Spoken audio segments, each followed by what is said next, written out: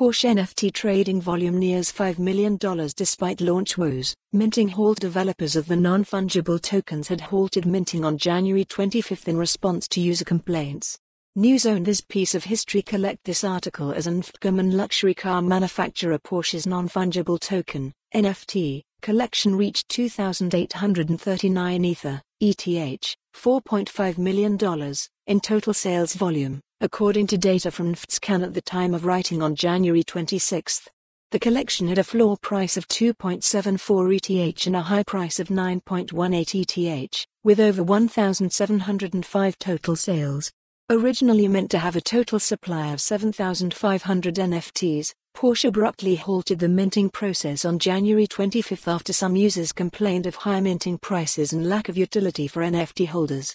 The supply has since been reduced to 2,363.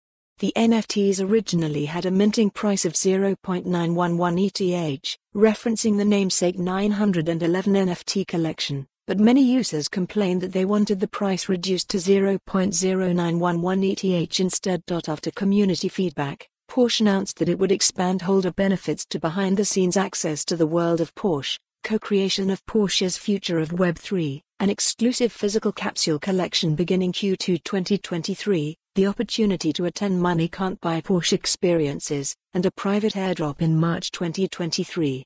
First unveiled during Art Basel Miami in November 2022, the Porsche NFTs were created by Hamburg-based designer and 3D artist Patrick Vogel and his studio Alt/Shift.